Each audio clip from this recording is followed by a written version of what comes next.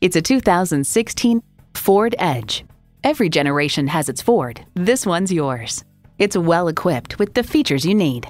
Intercooled turbo inline four-cylinder engine, manual tilting steering column, external memory control, manual telescoping steering column, doors and push-button start proximity key, voice activation, active grille shutters, wireless phone connectivity, and streaming audio.